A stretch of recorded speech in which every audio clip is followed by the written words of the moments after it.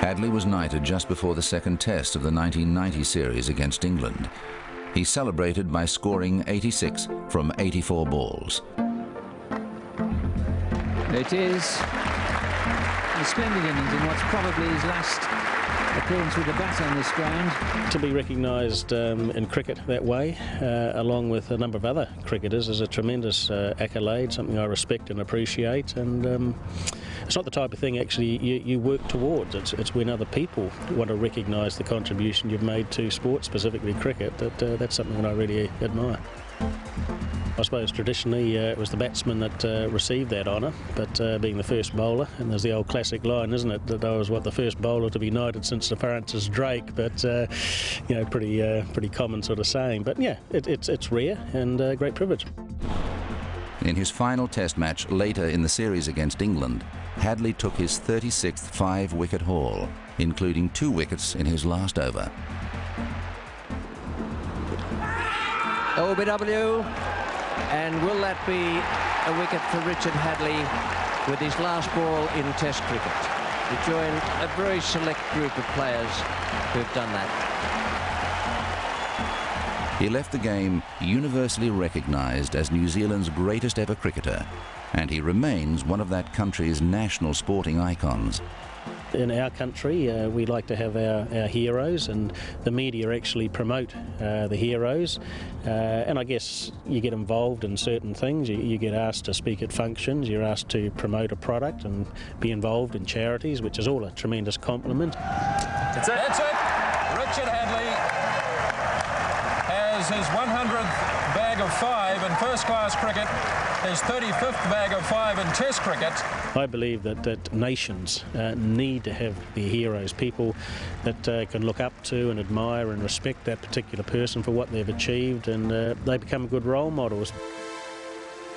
Sir Richard Hadlee played in 86 Test matches. He took 431 wickets at an average of 22.3.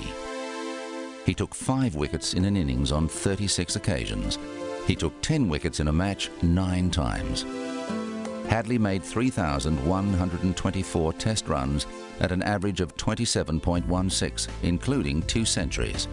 He completed 39 catches. In one-day internationals, Hadlee took 158 wickets at 21.56 and made 1,751 runs at 21.61 quite frankly, I think as a pace bowler, you've got to be a special breed. And you've got to take the knocks. Sometimes the body hurts and you've got to keep uh, bowling with niggling injuries. But boy, the rewards can be great. If you can get bags of five wickets or ten wickets in a match and change the course of the match, uh, you take a lot of uh, accolades that go with it spearhead. Like he, he knew when to bowl at the best times with the new ball just before lunch, second new ball. He knew when to bowl when it was really average times. He he, he wasn't on and he didn't have to bowl because he'd already done the damage.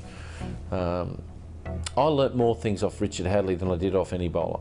And he attacked every facet of my game. He was brilliant at it. Oh, gee, I wish he didn't play for New Zealand. I would have made some runs against them. But uh, he didn't sledge, didn't have to because I was out in three balls. He was good, very good. And they knighted him. Yeah, and he deserved it. He varied his pace well. Like every every great bowler, he was he kept fit. He, he, never never injured, you know, and he was always bowling, and he had to do a huge amount of bowling for New Zealand, um, and um, he, he, shouldered the burden really well. Um, so you would say, you know, that he he was another one of those great cricketers.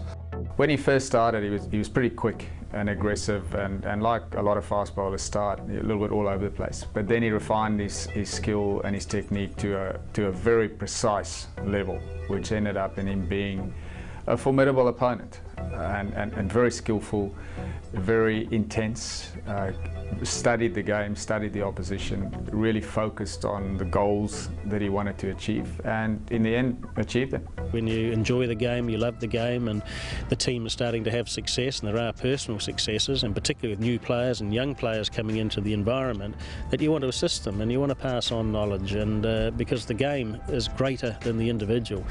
Uh, the game will always go on when you're long gone yourself as a player. And um, so we've got to preserve, in the words of Bradman, uh, the traditions and values of the game. And I've never forgotten what he said that, um, you know, everyone is a custodian of the game. It's up to each player, it's up to the media, it's up to the administrators to preserve the traditions, the values, the heritage of the game and play it in its fair spirit. Be competitive, go out there to win, of course, but, um, but do it the right way. No player has mastered the craft of pace bowling more completely. He was at his best right to the last ball of his career. For match after match, season after season, he carried New Zealand to victories against much stronger opposition. Sir Richard Hadlee was one of the greatest fast bowlers of his time and one of the best all-rounders of his era. His place is beyond dispute as one of ESPN's legends of cricket.